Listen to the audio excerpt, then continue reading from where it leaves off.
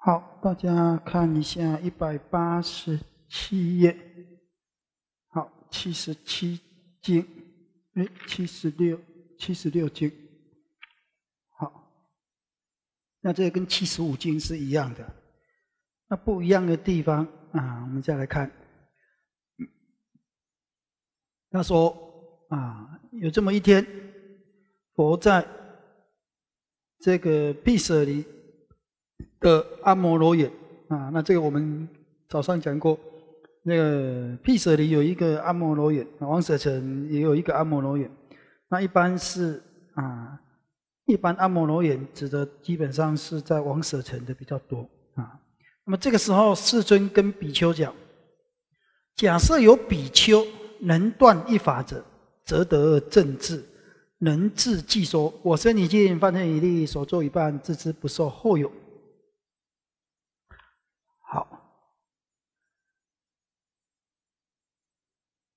那这个意思就是说，假设你们啊能够断除啊一个一个烦恼啊，就是能够断除这一法，那么你就能够得解脱了。那么在《阿含经》里面，应该是中阿含啊，很长啊，还是杂阿含里面有没有？还要找一下啊。就是说，佛陀也曾经说过啊，跟比丘说过，如果你们能够断一法，保你们啊得三果，或是得得解脱。那那个经里面讲的是断贪啊，断贪。那这里啊，这里主要是啊断这个无名啊，那么就是所谓的这个无名消灭，名升起。啊，好，那我们来看看经文。他说：“世尊是，那么法根、法眼、法依啊，世尊是最初觉悟真理的人啊，法的根本啊，法由佛出，法佛为法本啊，那是能够就近证得真理的人，能够圆满传授真理的人啊。如果我们从法根、法眼、法依。”那么各家的解释综合起来说，啊，那基本上就是这样啊。佛是最初发现真理的人，佛啊是就近证得真理的人，佛是圆满传授真理的人。所以希望啊，佛为我们说啊，那么能够断哪一法，能够就近得解脱。好，那。希望佛为我们说，那我们听闻佛说的之后，我们当会努力修行、精进修行，去断这一法啊，而得解脱。所以当受奉行啊，那受持啊，而且依教奉行。佛跟诸比丘说啊：“谛听，谛听啊啊！善思念之，当为奴说啊。”那简单翻译就是谛听善思，当为奴说。那一般。啊，一般有些佛弟子啊，就是佛这样问啊，或是他去问佛啊，他会说啊，我闻法后啊，那么独一进处，专精思维，不放一住啊，会这样讲。那有时候就是这样啊，谛听谛听，善思念之啊，当为奴说，这个是佛为比丘说，那比丘听了。听了会跟佛说啊，我当我读一进处专一修行，我闻法后读一进处专精思维，不放一住。那这个是变成阿含经的一个习惯性的用语了。好，那朱比丘啊，现在是佛来讲，其实这个所谓的断一法啊，那阿含经里面有所谓的一乘法啊，其实它就是重点的说，纲要的说，根本的说。那佛法来讲，根本来讲，基本上就是无名跟贪爱。从贪爱讲也可以，从无名讲也可以。啊，那从无名下手也可以，从贪爱下手也可以。那我们有说啊，那解脱道基本上比较偏重在从我爱下手，贪爱下手。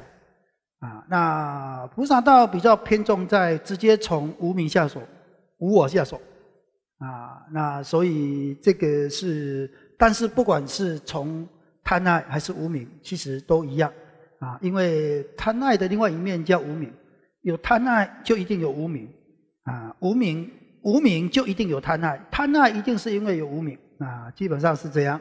好，所以我们会在《阿含经》里面啊看到佛说断一法保你得解脱啊，一有的讲无名，有的讲贪爱啊。那像这个舍利佛啊，说到佛法的重点啊，就讲欲贪。那佛自己说佛法的根本就是讲缘起啊，那这个也是一样啊，这也是就是知知就是佛法的重点在断欲贪啊，那这个也是。那如果像木建连啊讲到佛陀教他的啊这个修学的重点，那就是要能够觉察烦恼啊，能够断烦恼啊。那这个其实从不同的角度讲，那但是其实说的都是同一件事。好，我们来看。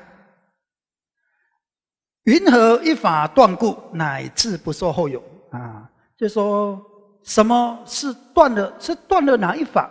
那么你可以解脱，不受后有，就是有解脱了啊。后有就是会有轮回啊。这此因灭以一因相续啊。那所以阿含经讲这个无，主要就是这样嘛啊。我们我们稍微看，就把把阿含经里面有的东西稍微做整合一下啊。这无名所富，爱结所系，啊啊，一般来讲啊，或是贪爱，啊，无名所富，爱结所系，或是叫无名富，爱结系，啊啊，它通常有三种啊，一个是啊，那一个算是这样啊，长夜轮回，不知苦之本际。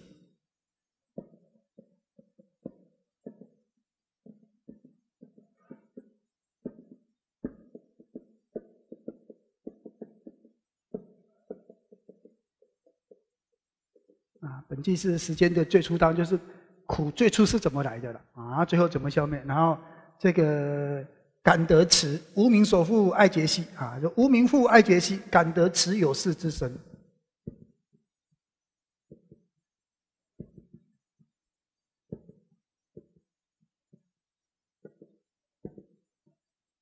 啊。然后他讲无名不尽，爱结不断。这是无名不尽。假设无名不尽，啊，爱结不断，他就在讲啊，此因面与一因相续，啊，这第几经我不知道了啊，但是大概大概是这样啊，此因面，啊，这是不同的经啊，但是。我们把它整合起来，它就是这样啊。此因面与一因相续，就这一生没有，这无因生没有了啊。一因相续，下一个生又来了啊。后有，后有啊。一因相就我们早上写的无名啊，乃至爱取有这个有一因相续。此因面与一因相续啊。那么如果无名无名无名断。啊，无名尽，爱结断，啊，那这个此因灭，那么不受后有啊，不没有一因不续，不再相续，那么他就就是不再会有后有，那所以阿罗汉基本上是不受后有，只有阿罗汉，阿罗汉才能无名尽，啊，出果、二果、三果还不能无名尽，啊，三果把欲贪断掉了，但是爱结，爱结也还没断，为什么？因为他还有色贪无色贪，色贪无色贪也是爱结啊，啊，所以那所以一般是到阿罗汉，阿罗汉啊，那么就是他就是不在啊，就是他这一个这一生受了啊，此就是我生已尽，不受后有啊，基本上是这样啊，啊，就是如果我们把这些阿含经里面。这个整合出来也是可以的啊，但是我大概是凭印象，大概，大概就是他反复在说这些东西啊。那我们来看，那这里这里是偏重在无名，那有一些偏重在贪爱啊，有一些偏重在贪爱啊。好，我们来看，那他说啊，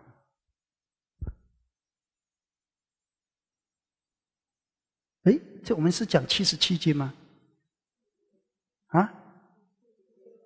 七十六经哈，哦哦，对对，我放到这边来，我看都看错了。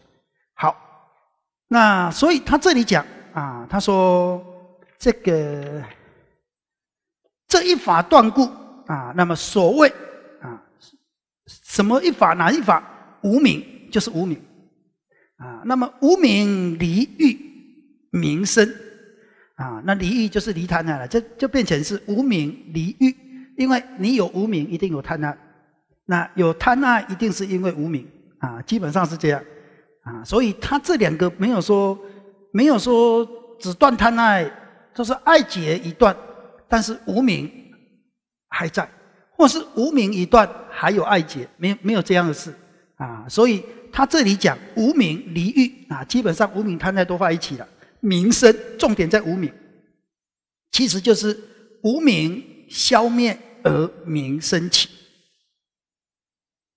啊，那得正智能智即说啊，当你把无名灭的时候，阿罗汉啊，一般部派的说法是断五善分解，色贪、无色贪、调举慢无名啊，然后我身已尽，犯恨已立，所作已作，自知不受后有。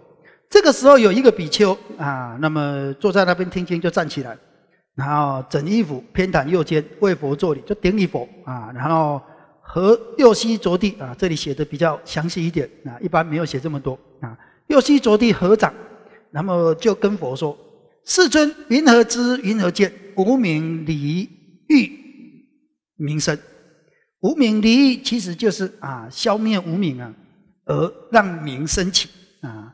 好，佛告比丘：当正观察啊，一样。”啊，他回到七十五经啊，那么你要怎么样能够消灭无名呢？那无名是什么？无名就是啊，根本的说无名，无名无名就是不知道而已啊。无名简单讲就是无知，不知道，不知道什么呢？啊，根本说不知道无我，根本说不知道无我。那么如果详细说就多了啊，所有的不知道都是无名，不知道有善有恶。不知道有业有报，不知道缘起，不知道四谛，啊，那么这一些全部都叫做无名。啊。那如果归纳一下，就是没有世间正见，也没有出世间正见，啊，那这个就是无名，我们叫做无知啦，啊，好，那所以啊，那但是从根本来讲，无名其实就是不知无我。啊，不知无我，不知道世间是缘起的。是无常的，是无我的。那么，所以你应该要如实的观察，正观察啊。那么，眼无常，若色眼视眼触因缘生受啊。就我们早上讲那么多，其实其实都是这后面都是在讲这个啊。六根六尘啊，那根尘四啊，那这个色是六根里面的啊，眼耳鼻舌身。所对的色声香味触法的色啊，所以若眼无常，若色，这个色是眼睛所对的色啊。然后后面耳朵对的声香味触法也一样啊。然后根尘啊，眼根色尘合合生眼视，那么眼根色尘眼视合合生眼触，那么眼触所生受。就是苦乐不苦不乐啊！那如果再继续讲下去，就有想眼处所生想，眼处所生思，眼处所生爱啊，基本上是这样。好，那么比喻能正观无常啊，就是由处而有的心所，处是心理活动，那么而有的受想思，一一的受想思，你都能观无常。那么这个要。这个其实要不断不断的观，在每一个境界都观。那我们说境界比较强烈的时候不容易，但是如果你常常观的话，还是可以多少有一点作用啊，多少有一点作用。那么你正在痛、非常痛的时候，那么你这样观还是有一点作用，不是完全没作用。但是如果你没有的话，你就执着在那个根根深层，就是根层啊，比如说你执着在你那个痛感上面。啊，你执着上了，或是执着在这个身体啊，那么它基本上那个受就会扩大。但是境界太强也没办法，境界太强了没办法。阿罗汉痛起来哈，也是没办法。即使是阿罗汉哦，他也是要想办法让那个痛止息。那你看那穆建连被外道打到头破血流，他为什么急着要入涅槃？太痛了。但是他心里面，他心里面不苦，但他痛感是一样的啊，所以他要入。像佛陀，像佛陀，他太痛了，他也是要休息。跟阿难讲。啊，我背痛，我休息一下。但是他休息，他并不是在那个痛受里面，不是的，他只是因为身体是业报身，他让它缓和。啊，但是你常常这样关，常常这样关，至少他那个苦感，或是那个苦受不会扩大，还是有作用啊。那你可以反复试验看一下啊，就是你在痛的时候，你就关关照，但是他有时候会被拉回去，但是你再拉回来，就这样。啊，就拉来拉去，拉来拉去。但是你在这个拉来拉去的当下，他的苦受会减低。啊，那你如果把心力集中在那一集中在那一点的话，那个苦受会增加。你可以细细体会这些事了啊。人这种东西要不断训练，不断训练的啊。那久了久了，你就基本上还是可以关到无常，还是可以关，因为那个痛是一下子就没有，然后一下子又来，一下子又没有，一下子就来，你还是可以看到无常。但是无常是无常，因为我们还是所谓的这种凡夫，所以他还是会有带一点执着性。你你自己也可以看到那一点执着性在里面啊。但是你只要能够反复这样观，我相信基本上基本上他他是容易升起无漏慧的啊。那说不定在哪一个痛感升起，你就证悟我了，也很难讲啊。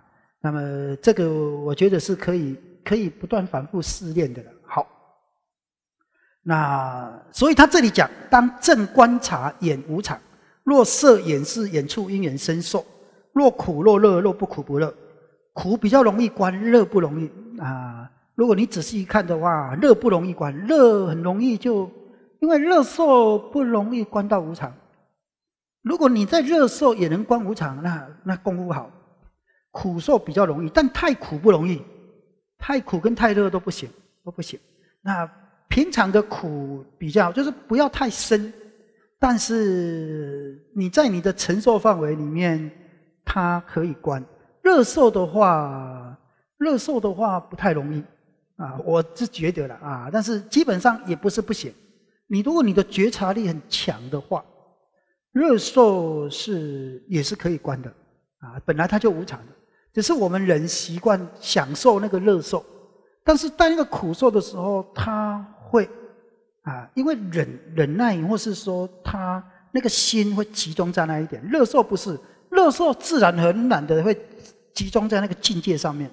那随着境界转啊，但是我我没有比较特别从乐受去去做关照，还不是很清楚。下次注意看看啊，苦受我觉得比较容易关到无常，嗯。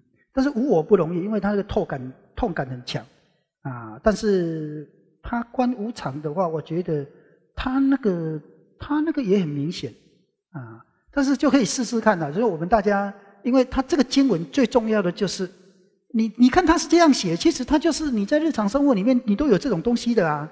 那你会不会起观呢？啊？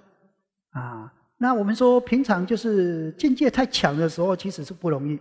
你境界稍微有一点点，但是你就这样关，就这样关，这样关，啊，然后几次就是常常啊，你要常常啊，要硕硕啊，我们说要专精思维，要先要如理思维，就是观无常想，然后要专精思维。啊，你就要专精，就一次又一次的，一次又一次的观，啊，然后要硕硕思维啊，就是心要放在那个地方看，啊，那他就是。很奇怪，就是会有那一种种种的想，但是那个想也不是太多，它就是痛痛感，然后再加上你要关的那个力量，有时强有时弱，有时强有时弱，啊，其实说我觉得大家都有机会，因为苦受乐受是很平平常的，苦受乐受是很平常的，尤其到老的时候，我们为什么要这样关呢？因为到老的时候，这种机会会更多，到老的时候，那病的时候。那么你这个时候如果能够心里面就不随着这个走的话，但那个时候其实你就是躺在床上，你也能做官，真的啊。那么就是要让自己训练这样啊。那这个时候，你其实你养成你那种正念啊，就是正念无常无我啊，正念老病死的这种啊，就老病死不可爱不可忆不可念。哈，佛是因为这样成佛的。那你要常常把你所记的这些东西，就是在那个苦受乐受的时候啊，不断的想起，不断的想起，不断的想起，啊，然后做很专注的观察。其实我觉得，就是说，像像这个，其实都在讲这些而已啊，啊，演出演出者若苦若乐不可乐，比喻正观无常。那这个不是说哇，这样我们读了哦，那这样看的，因为如果这样看也没有什么好看的啊，看来看去都一样啊，真的啊，七十五清、七十六清、七十七。就是把六路处看完了，也差不多就是这样而已。但是他基本上佛陀跟佛弟子讲的，他不是我们说过佛陀跟佛弟子讲的，他就讲一个重点，你就要拿这个重点去修行。那如果你不懂的话，他就仔细分别讲，广说一下。他没有讲这么多，这么多是把所有跟佛弟子讲的四十五年里面，把佛弟子讲的同样的收集在一起而已。啊，如果你把你妈妈从小到大讲的话，跟你姐姐、妹妹、哥哥讲的话收集在一起，也超过这一本杂函。我告诉你，啊，为什么？那太多嘛，对不对？那如果你只是跟你自己讲的，它就是那个重点啊，一样啊，一样的道理啊，啊。但是我们要怎么样去看待这些经典，是很重要的。就是说，它就是你你生活中思想、观念、行为的指导原则。观念嘛，正见嘛，思想啊，正思维嘛，啊，这个行为正理、正业、正命嘛。啊，然后，然后他他告诉你，他就是在日常生活里面的，或是在你的生命当中的，他他告，因为你这些你常常在发生的事啊，你你眼睛就算你闭起来和打开，都是眼耳鼻舌身意对这身香味触法，都有受想行识啊，没有没有的时候啊，没有的时候，只有在入定的时候，才有些受是没有的，啊，那你入越高的定，他那些心所可能就没有。到了如如你入灭尽定，连受跟想都没有。那么如没有灭尽定以前，它都是有受想的啊。所以灭尽定是灭受想定嘛，啊，所以有一些有一些像佛陀或是一些阿罗汉，太苦的时候，太苦的时候，老了太苦的时候，他会入灭尽定、灭受想定里面去休息。灭受想定当然就是有很多的 有很多的说法啊，不过就是说，因为他。入了灭尽定，没有受跟想，他那个苦受乐受是不起的。那平常如果你没有入灭尽定，你那个苦受是有的，啊，所以所以如果阿罗汉呢，啊，功夫好，那灭尽定功夫要很难，那无漏定，但是他到底是不是有漏还是无漏？当然这个还要再讨论啊。那一般来讲，它是无漏定好。所以太苦的话，一般苦受乐受我们是一定有的，受想行都一定有。除非你念了灭入入了灭尽定，没有受跟想，你入了二禅啊，那个你入了禅定，那感官它是五暂时五事是不起的啊，但是它有一些像有一些受，它还是有啊，那就是说，一般像我们日常生活里面，它就是六根对六尘嘛，它就是受想行嘛，它就是这样啊 啊，那你你你的正观就是在每一次的境界上，你都能够你都能够。用得上来去观察这些东西，那这个要养成习惯啊。那个跟年纪没关系，跟性别没关系，跟你读的经多少也没关系。你但凡只听到这一经，你都可以这样去观；但凡你只知道这一经，你因为它就是你只听一经得一法断一法，你就能得解脱解脱了嘛。因为它是一样的东西，就是如果你不懂，那当然就要听多一点。啊，五蕴，但是其实五蕴六处，我们早上画的五蕴六处缘起六界，其实讲的是同一个，从不同的角度切入而已啊。所以我们来看啊，这这个其实就是这样嘛。那你断一法要从哪？要从哪里断？断一法是断什么？断无名。这里讲的是断无名啊，断欲贪都不知道哪一经了，我没有去查啊。那呃，我记得应该是在众阿含里面，还是在杂含里面啊？如果你断断一法，保你得解脱。啊，断欲贪啊！我们说要不讲无名，要不讲贪爱啊。无名复爱结系，感得持有事之身。无名无名断，无名尽爱截断，那么这个就不再不再有这个生死轮回。啊。好，那所以他这里讲啊，耳鼻舌身意亦复如是。啊，眼耳鼻舌身意色身香味触法，比丘如是知如是见，无名离欲名生啊，无名离欲啊名生，基本上。如果依其他的版本或是来讲的话，基本上他这个意思就是把无名消消失了，消灭无名，就是无名无名尽。啊，那爱截断，无名尽了，那么名就升起来了。那么也可以说，当你无漏会升起的时候，你就可以断无名，因为它是无名在，名就不在，名在无名就不在的东西啊。好，那这个是七十六经啊。好，那从七十五经之后都是一样的。那七十六经基本上讲的就是断一法是无名啊，无名断就可以得解脱。那么比丘要问的，你看这里都是比丘要问的，都是啊，比丘要问的都是我要怎么修行才可以得解脱啊，都是问这个啊。那他有很明确的解脱的意愿。我们说修行就两个重点。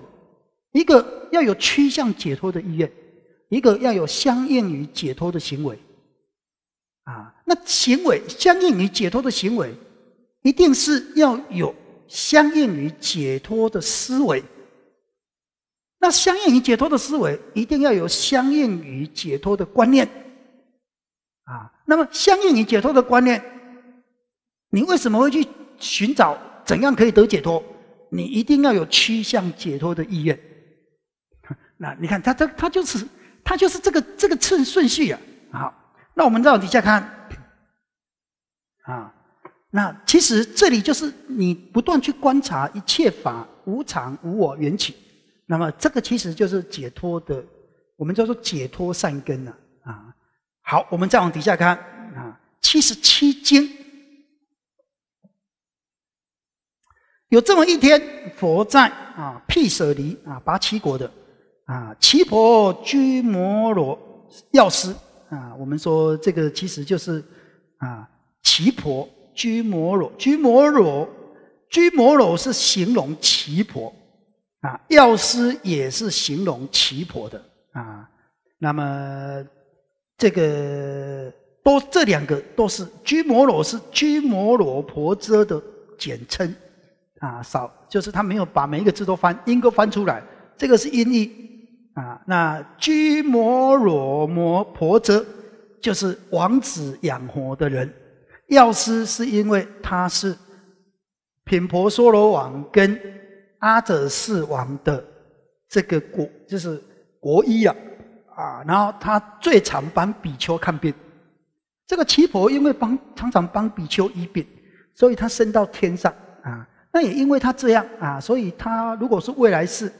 那么他可能就是比较，即使他再来做人，从天上再来做人，啊，那么他是比较会少病的，啊，没有病老的，啊，啊，因为因因果是这样嘛，啊，那你让人家的病好，你自己的病你就自己不容易生病了，有病也容易好，啊，那么他的福报，他升到七伯是升到倒立天，啊，那为什么知道他升到倒立天呢？那这个穆建年有一次比丘。好像是瘟疫，好像传染病啊。那七伯已经往生了，那他找不到人可以医啊，所以他没办法。阿罗汉是阿罗汉，不是什么样都懂啊，啊，他也没办法说，那我入定看一看这个到底是什么病，没办法，不是神通不是这样子的啊。然后他就他就这个入定去看七婆现在在哪里哦，在刀立天，他就上刀立天找七婆。然后问说：“这个比丘现在那个不知道是什么病，我忘了啊，就有有，反正就是大家都参，大家都得病啊。他在问说：那要怎么治疗啊？那我记得那个齐伯说叫大家断食啊。那因为太多人了，每一个人不太一样的样子啊，就让大家断食啊。那这个所以齐伯后来是升到升到这个刀立天去啊。那这个。”他的妈妈是阿摩罗女啊，是毗舍离的美女啊。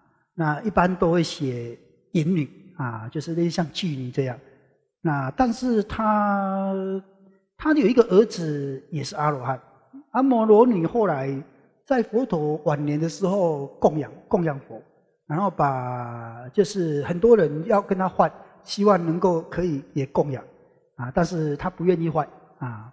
这个故事也蛮有名的。好，好，那我们就大概先讲到知道这个了哈。那药师就是他是因为他是医生呢，他是医生。安罗远，安罗眼其实是芒果林啊，所以我们叫做芒果林金色。这个时候世尊跟阿难讲啊，好，他说这个不是比丘问啊，啊是佛在这个芒果林啊，然后跟阿难说，于眼当如实知，如实见啊，这跟七十五经啊又回到七十五经这样。我云何知？云何见？啊，那这里就是比丘会问我云何知？云何见？啊，那么这里是前面是比丘问佛云何知？云何见？可以得解脱。那么这里是佛跟比丘讲，跟阿难讲，如实知，如实见，啊，如此得解脱。好，那么若眼色、眼视、眼触、眼触因眼生受，啊，其实都一样啊，这都一样。若苦若乐，不苦不乐，比喻如实知，如实见。那我们说这个是就是。你有境界，你就你就要训练。那平常我们平常平常像我们这个时候没有什么特别苦跟乐，没没有啊，所以不太会不太会去观。但是有比较强的境界的时候，那个时候就是你做官的时候，那你试试看，可以试试看，每次都是每次都是啊，因为一般到四十岁以后，通常身体都开始会有苦受，通常啊。那因为饮食的问题，因为习惯的问题，因为环境的问题啊，基本上都会有苦受。那么这些苦受，包括你要吃的东吃的药啊，做的治疗啊，这些种种都会有苦受。那么这个苦受其实都是每一次可以拿来做训练的一个机会啊，但是太强就不行。所以平常你就要做训练。好，那耳鼻舌身意亦复如是，彼如实知，如实见也。啊！当你这样如实知、如实见、如实知、如实见什么啊？见见这个色、受、想、行、识啊！这个一切都是如实知。像这样讲，如实知、就是见什么？见无常，眼色、眼识和合生处，就是我们这个苦受到底从哪里来？这个受啊，受是苦受，它有两层，一种就是苦哪里来，一种是受从哪里来。那合起来叫做苦受啊，但是一般你可以思考，这个苦到底是怎么生成的？苦跟苦受又不太一样哦，啊，但是基本上可以合在一起讲啊。受只是心里面去去去，就是受都有受都有这个受，但是苦受又有分身苦跟心苦。那凡夫通常就是身心皆苦，那么圣者的话，身也苦，但是他心不苦。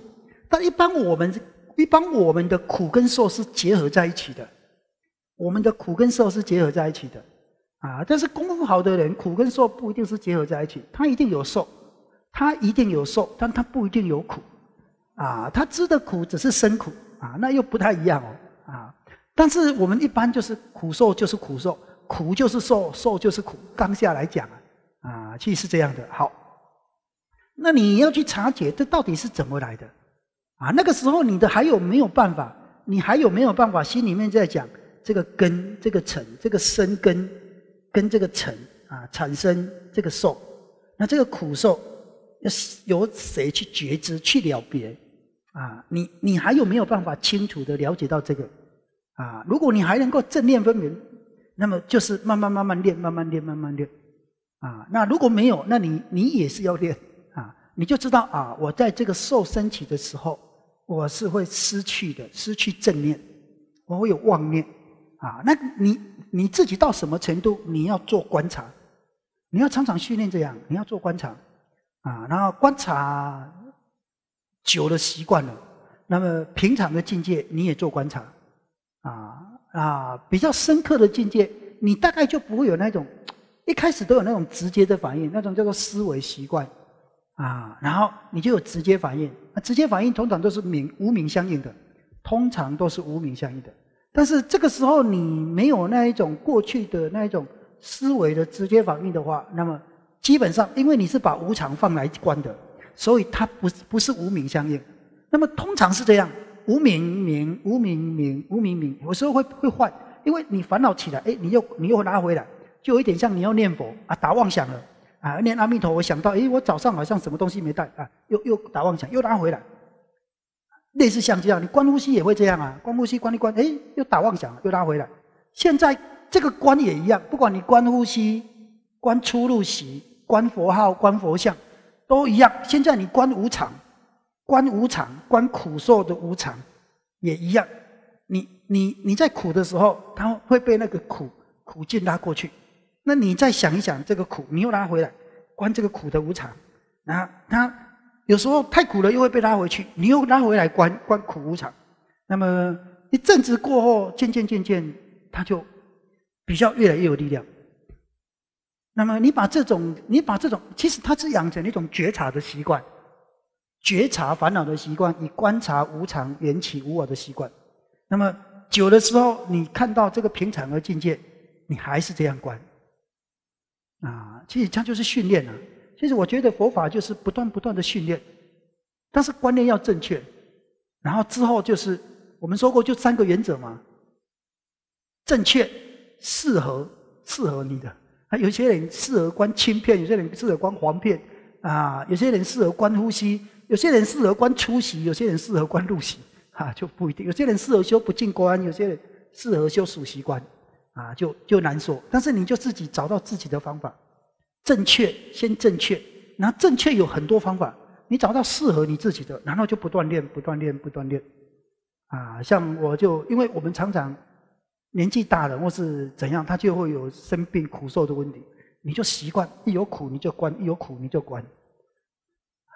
我我觉得也蛮好的啊，就是每次每次都像在做早晚课一样啊，真真的你就这样关这样关，他就养成一种习惯，就养成一种习惯啊。去拔牙痛也是关啊啊，然后做治疗痛也是关啊，就养成习惯，养成习惯，它基本上他会深深刻。我们就是它变成一种习惯，那这种习惯你会应用在日常生活里面。一旦有苦受，比如说啊，这这个人骂你，或是这件事情让你让你恐惧害怕的时候，你会习惯关这个苦受啊。那我觉得这样就渐渐渐渐那个如实正观的东西，因为它本来就是这样嘛，苦受本来就是缘起的，本来就是无常的，只是因为我们觉得我们在受苦。啊，那我们因为怎样我们在受苦？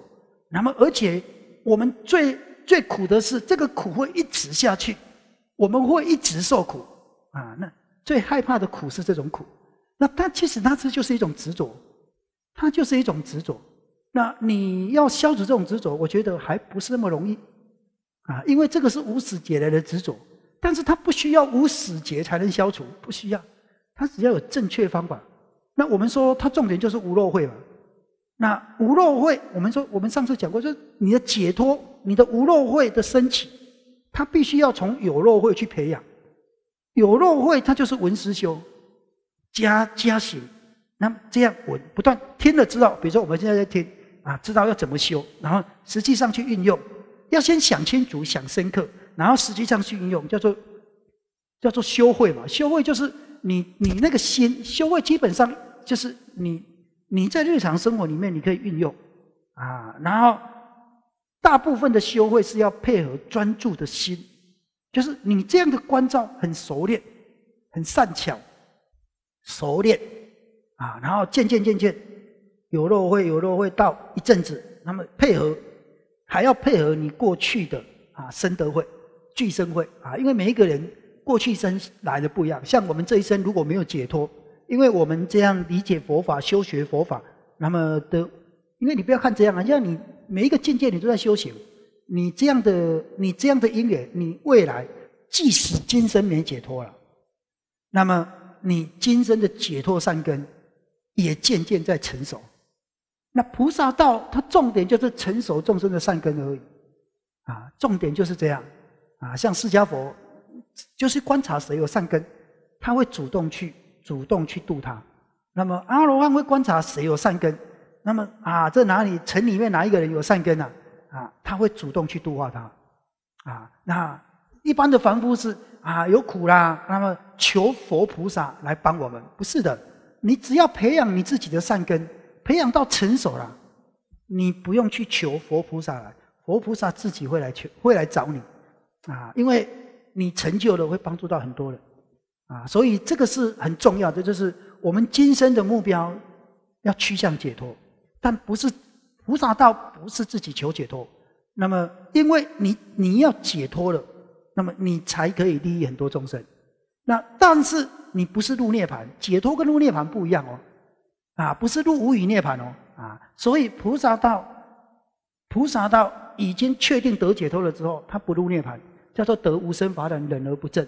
那么他不断去利益众生，那么在积极广大的福德资粮，然后成佛，成了佛，在更广大的利益众生，他是这样的概念啊。所以，我们我们虽然不断的说要趋向解脱，但我们不是啊，是说要要要赶快露面，然后赶快到就是就是得解脱的，不是的。我们要得解脱，是因为我们只有自己真的具有力量的时候，我们才能真正利益众生，帮助其他人。所以，我们除了平常要利益众生，但是我们也要有那个趋向解脱的意愿。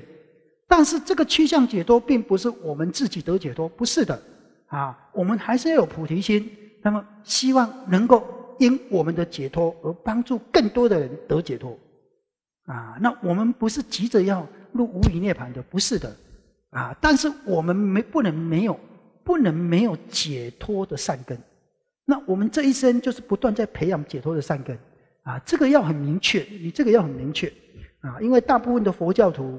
他已经已经放弃要解脱这个心了，已经没有解脱的意愿了，他就是求生的意愿而已，求生净土的意愿。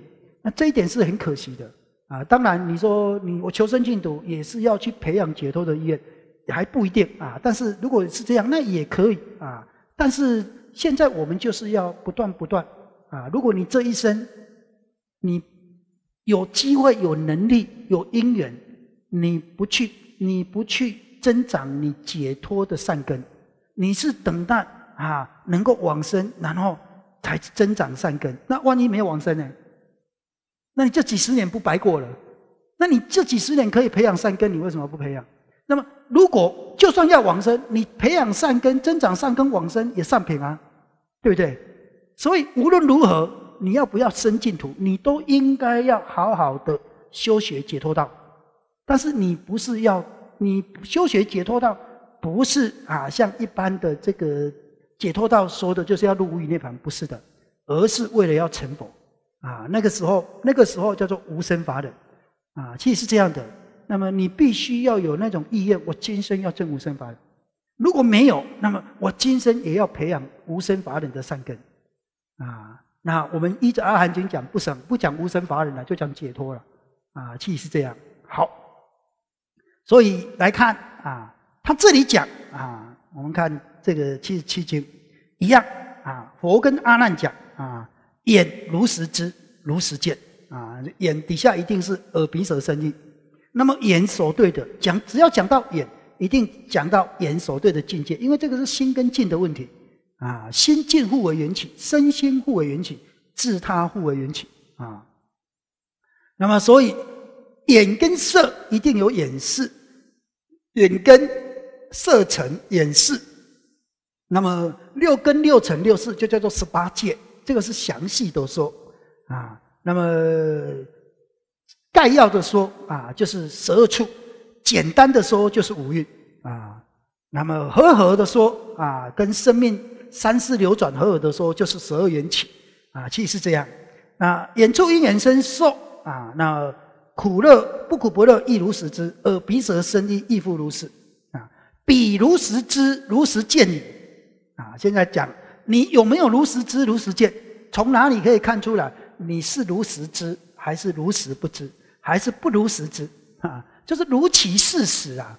它的事实是什么？事实就是法的共相，法的共相，法的共相是什么？无常相、无我相、极尽相啊！涅盘极尽相啊！这个是法的共相。若若佛出世，若不出世，法性、法住、法界，啊，甚至讲法位啊，那么基本上这个是这个是法的实相啊，所以如实见其真相，如实见你，那你有没有如实见？从哪里看得出来？以眼生厌，若色眼视眼触因眼生受，若苦若乐，不苦不乐，比喻生厌。那么这里是讲所谓的厌离欲灭尽啊，厌是什么？厌就是厌，不是厌恶，不是厌，厌是厌离，厌离是站在不染着的情况下说。啊，那我们说《阿含经》里面主要讲两种，一种叫做未幻离，一种叫做厌离欲灭尽。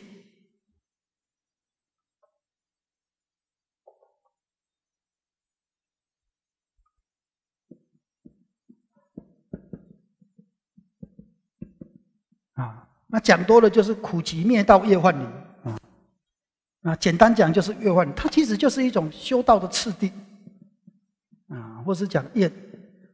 啊，那其实往生净土其实是善巧方便，也是这样讲，叫厌离娑婆，心求极乐啊。那厌离其实就是不染着世间的五欲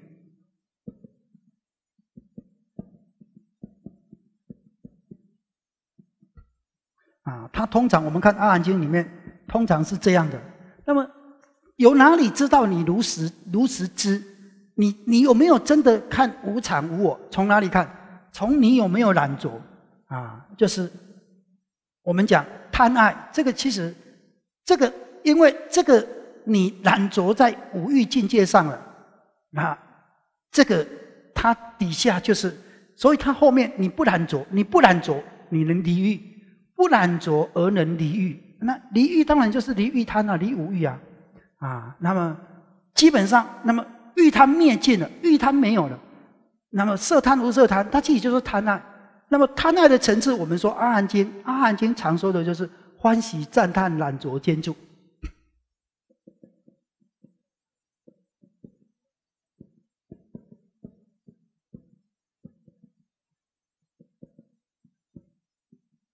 啊，这是他常用的。这个是染着不舍了，啊，取了，啊，那通欢喜，啊，那么，啊，那。就是你不会欢喜在这个五欲上，啊，那么它基本上就是一种厌的厌的这种这这一种形容啊，啊，就是你你不会染着，啊，这最初的染着你都不会啊，那么这个就看出看出你有没有如实观无常。假设假设有一个人啊，那么对一颗一颗。露珠的消失，因为露珠在阳光下是很漂亮的，但是太阳晒一下它就不见了。假设有人对一颗露珠的消失感到痛苦，那么就表示他不知道露珠其实是无常的，啊，其实是这样。那么假设啊，有人想要把露珠串起来，串成一串珍珠来挂，那也表示他不知道这是无常的。他对于露珠早上的露珠那么漂亮。那么太阳出来没多久，它就消失了。他感到悲伤，那么表示他没有如实知无常。露珠本来就无常啊！大人会跟他讲，大人会会跟小孩讲：“哎呀，那个那个太阳下来就没有了啦！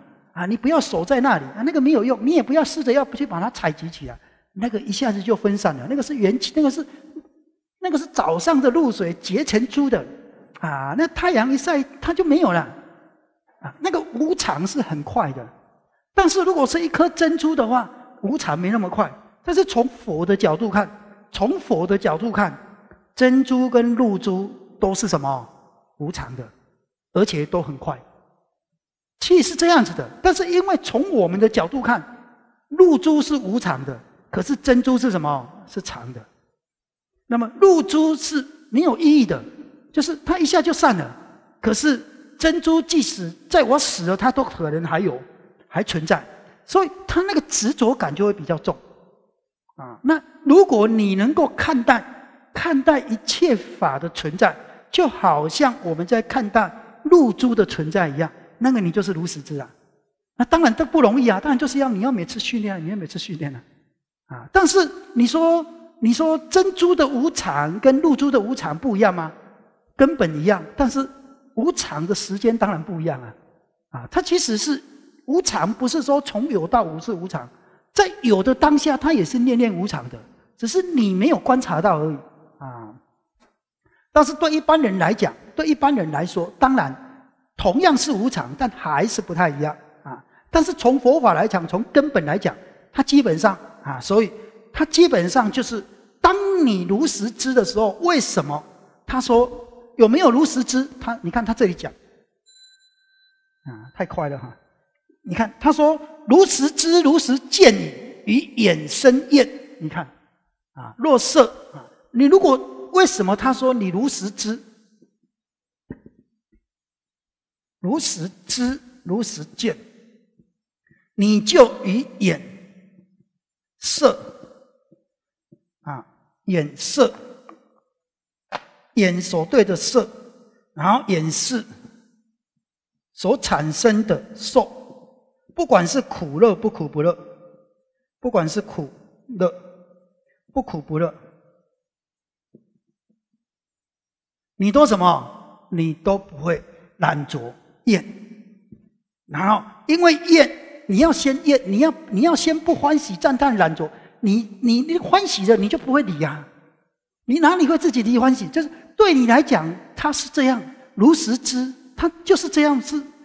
彩虹漂亮是漂亮啊，但是它就是无常的，缘起合合的啊，从来没有人想会到彩虹上去走一走啊，没有，因为他知道那个是幻象。所以当你观察一切有为法如梦。